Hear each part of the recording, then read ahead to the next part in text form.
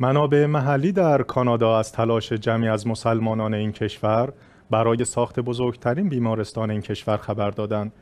در همین راستا گفته می شود مسلمانان در کانادا یک کمپین جمعآوری کمک های مالی برای ساخت این پروژه بزرگ بیمارستانی راه اندازی کردند. همکارم مایده خاموش گزارش می دهد.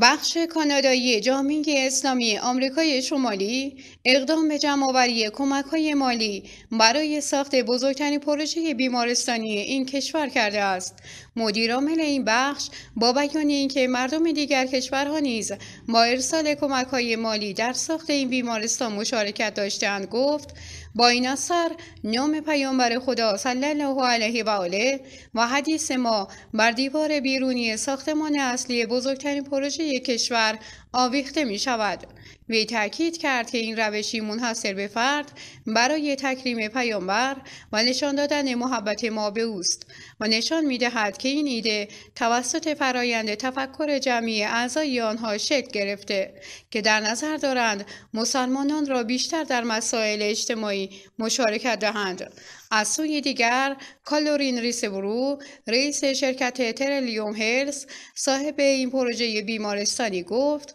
که آنها انتظار دارند یک میلیارد دلار کانادا برای بیمارستان جمع آوری کنند. انتظار می رود در مجموع 100 میلیارد دلار کانادا در این پروژه هزینه شود. در همین راستا فوزان خان مدیرعامل بخش کانادایی جامعه اسلامی آمریکای شمالی اعلام کرد طبق توافقی که با شرکت تریلیوم هلز منعقد کردهاند در مدت ده سال در مجموع 5